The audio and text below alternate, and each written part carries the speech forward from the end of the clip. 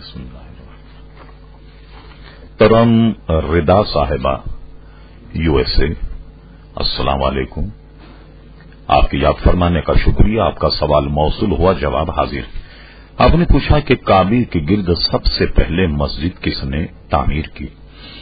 اصل میں کعبہ بذات خود ایک اللہ کا گھر ہے۔ اور روایتوں میں ہے کہ حضرت آدم علیہ سلاۃ وسلام جب زمین پر تشریف لائے تو جب آسمانوں پر تھے تو اللہ تبارک و تعالیٰ کی تصویر اور حمد و ثنا جو اللہ کے لیے وہ کرتے، سنا کرتے اور اس سے ان کے کان مانوس تھے۔ جب آپ دنیا میں تشریف لائے تو ظاہر ہے کہ طبیعت گھبرائی اس وقت اللہ تبارک و تعالیٰ نے انہیں اپنا گھر بنانے کا حکم دیا۔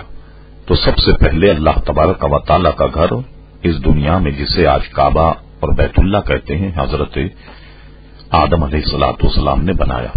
پھر اس کے بعد ان کے بیٹے حضرت شیس علیہ سلاۃ والسلام نے اس کی تعمیر کی۔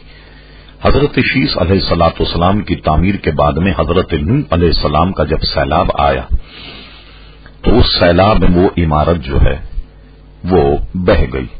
پھر اس کے بعد تاریخی اعتبار سے سب سے بڑے معمار کعبے بنانے کے حضرت ابراہیم علیہ السلاۃ والسلام ہیں، جنہوں نے اپنے صاحبزاد حضرت اسماعیل علیہ السلام کی مدد سے خانے کعبے کو بنایا، جس کا ذکر قرآن مجید، فرقان حمید میں یوں بیان کیا گیا۔ وہ از یارفا ابراہیم القواعد امین البینت و اسماعیل ربنا تقبل منا ان کا سمیع العلی یعنی جب ابراہیم علیہ السلاۃ والسلام کعبے کی دیواروں کو بلند کرتے جاتے اور اللہ تبارک و تعالیٰ سے دعا کرتے کہ اللہ تبارک و تعالیٰ ہماری صحیح اور ہماری خدمت کو قبول فرما، بے شک تو سننے والا اور علم والا۔